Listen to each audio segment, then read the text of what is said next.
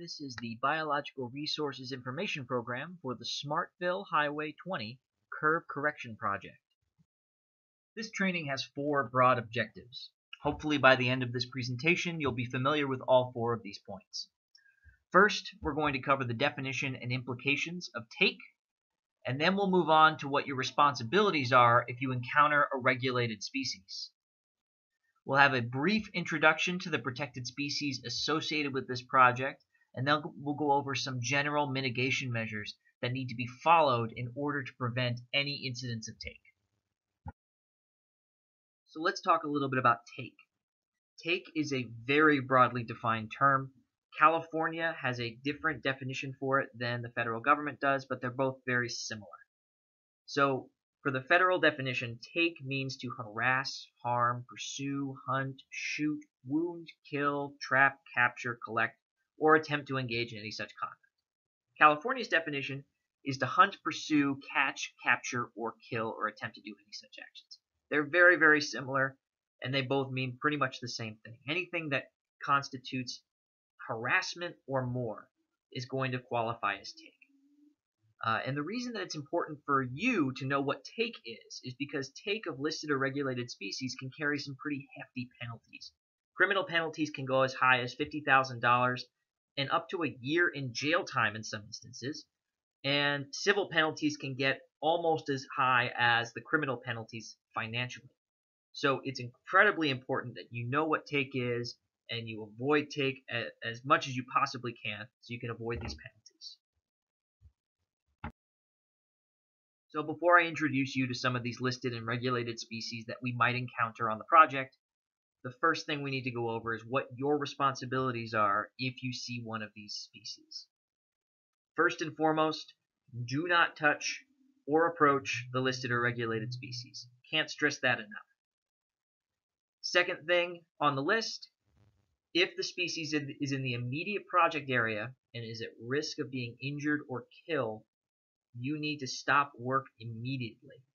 What needs to happen then is you need to notify the designated biologist or the biological monitor. If one of us isn't there, if the monitor is not present, you need to contact Alluvion Biological Consulting directly. The phone number is in each of your books, and it's here on the presentation. The principal biologist on this project is Gennaro Lockhart. Only a qualified and permitted biologist can handle and move regulated species from the project site. So now let's look at the listed and regulated species that may occur on or near the project site. Northwestern pond turtle is a medium-sized turtle. The color ranges anywhere between brown to olive brown to blackish, and the shell is going to be anywhere between 3.5 to 8.5 inches long. The species can be identified from the lines and spots that radiate from the center of the scutes, and the scutes are the bony plates that make up the shell of this animal. Males of this species tend to have a light throat and no markings, and a relatively flat shell. And females are going to have dark markings around their throat and have a noticeably taller shell. The species typically inhabits ponds and creeks and hibernates underwater for several months during the winter. Western pond turtles reach breeding age at about 8 to 10 years of age. Uh, breeding usually takes place in April and May. And what females will do is they'll climb onto land on the water margin and dig a nest. They'll lay a clutch of around 2 to 11 eggs, and those eggs will gestate for about 80 to 100 days before they'll hatch. Foothill yellow-legged frog is a true frog with grainy rather than smooth skin and a narrow waist.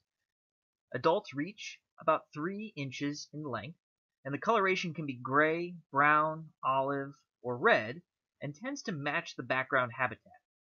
Individuals may be plainly colored or could exhibit mottling to varying degrees. Females may begin breeding at one year of age laying 300 to 2,000 eggs per clutch on the downstream side of rocks. Depending on water temperature, tadpoles hatch after 5 to 37 days and remain within the safety of the egg mass for about a week before emerging to feed. The foothill yellow-legged frog is found from western Oregon to the foothills of the southern Sierra Nevada mountains in California. Swainson's hawk is a medium to large sized hawk with adults getting up to 21 inches in length with 52 inch wingspans. Their plumage is variable and there are usually two color morphs. The first morph is a light phase, which have dark heads, breast bands, and light bellies, while the dark phase birds are going to be sooty black. Both color phases have bicolored underwings, dark gray flight feathers, lighter wing linings, a broad tail, and long, relatively narrow pointed wings. In March and April, they arrive on breeding grounds in the Solano and Central Valley counties, as well as the interior valleys of the coastal ranges. Breeding habitat includes woodlands, savanna, grasslands, and scattered trees. Swainson's hawk require large tracts of grassland and open land for which to forage. During migration and foraging, they use open lowlands, and these hawks typically occur at elevations from sea level to 1500 feet. This section applies to all of the bird species that has been previously covered and any other species covered under the Migratory Bird Treaty Act or California Department of Fish and Wildlife Fish and Game Code 3503. A variety of bird species have been found nesting in or immediately adjacent to Caltrans right-of-ways. Nest sites are often placed in crevices, cavities, seams, or weep holes within bridges. Other nests are constructed on open vertical cement surfaces on bridges. The species that utilize man-made structures as nest sites tend to be more tolerant of urban conditions. These conditions might be increased noise, light, vibration, or simply human presence but they can nonetheless be sufficiently disturbed during construction or maintenance activities enough to cause nest abandonment or inattentiveness, which would result in the death or loss of eggs or juveniles. Incubation and brood rearing require approximately four to five weeks for smaller birds, but can take up to 12 weeks for larger raptors. And this is why it's incredibly important that we get nest deterrents up on the project site and prevent nesting as soon and as often as possible. Roosting bats are protected by California Department of Fish and Wildlife Code 4150. And many of the habitats and structures associated with Caltrans right-of-ways have been found to be inhabited by bats. A total of 18 species of bats have been found to use bridges in California in one way or another. Roosts are places that provide security and protection where bats can rest, sleep, hibernate, mate, socialize, or feed. Roosts can take many forms and may be found in rock crevices, gaps in concrete or steel structures, trees, bridge weep holes, and many others.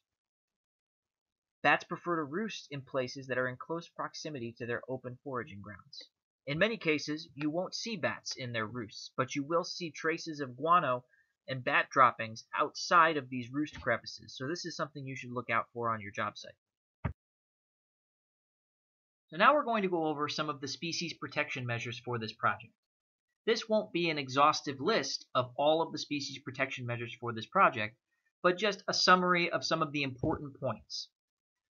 A full list of the species protection measures for this project can be found in your Biological Resources Information Program booklet, so please reference your booklet for the rest of those measures. If a listed or regulated species shows up on or near the project site, we'll need to set up a protective radius for it. The radius is a no-work buffer that needs to remain in place until the animal leaves the area. And for this project, all regulated species carry a radius of 100 feet unless otherwise noted in this table. There are several general protection measures that need to be followed on this project. I'll go over these quickly, but you should review these measures in your training materials. First of all, all wildlife should be allowed to leave the job site unharmed, and this includes any animals that don't carry state or federal protections. And in order to make sure that no wildlife shows up on our site, we need to make sure that all food-related waste generated during the project is contained in sealed trash containers, and these trash containers need to be removed from the site daily. This will prevent food waste attracting wildlife and causing project delays later on. Um, the environmentally sensitive areas on this project should be clearly marked and fenced. And that means that you need to work only within the designated work area. Uh, no work in the ESA is allowed. And if the ESA fencing is knocked over or damaged for any reason, it needs to be repaired immediately. Uh, during construction operations, stockpiling of construction materials, portable equipment, vehicles, and supplies needs to be restricted to the designated construction staging areas. These areas must be located in upland habitat and may not cover riparian vegetation or leave material where it may be washed into a water body. Along that same line, hazardous materials need to be stored at least 300 feet away from water bodies. This applies to concrete washings mostly, but it also applies to any other substance that could uh, pollute nearby streams. And finally, best management practices need to be in place anywhere on the project where sediment washing into water bodies could be a concern. Um, they should be in place throughout any area that has exposed sediment or that poses a risk of discharging pollutants into any nearby water. So we'll finish up here with some important takeaways from this presentation. First of all, back to the beginning, do not touch or approach any regulated species. Please notify your biological monitor if you see a regulated species on the project. And again, active bird nests are most likely to be found from February 15th to August 31st during the nesting season.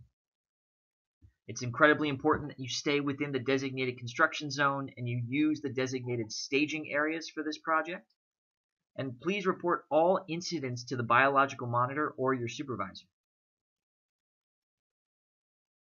Again, no hazardous waste, pollutants, or debris should be allowed to enter a water body and this goes hand in hand with maintaining BMPs on the project site to prevent erosion and sediment loss. Lastly, and most importantly, you and your company are wholly responsible for following the measures that are stated in not only this biological resource information video, but the permits and specifications for this project. I appreciate you following along with this presentation. Uh, if you have any questions about what's been covered in this presentation, your training materials, permits, project specifications, please direct them to your on-site Alluvion biologist.